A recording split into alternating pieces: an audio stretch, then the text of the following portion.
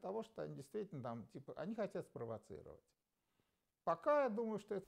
Apparently, the political situation is developing more swiftly with the attack on Paris, and it was understood in Moscow that maybe it's important uh, to push forward the official disclosure about a breach of security in Sharm el Sheikh and the uh, bomb exploding on board.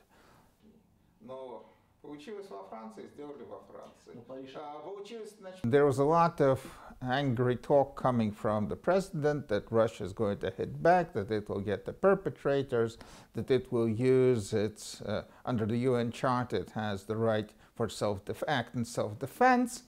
Uh, but that, for the time being, will be mostly just simply strong talk in, in the absence of the possibility to do something really more serious.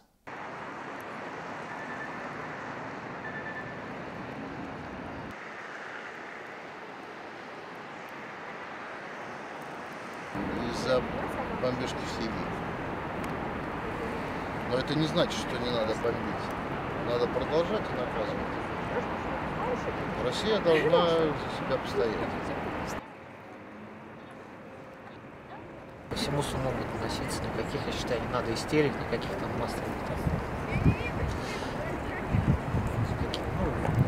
Потому что тогда террористы, они что этим хотят? Они хотят добиться истерии, чтобы боялись, чтобы расшатать лодку, Путин выражается.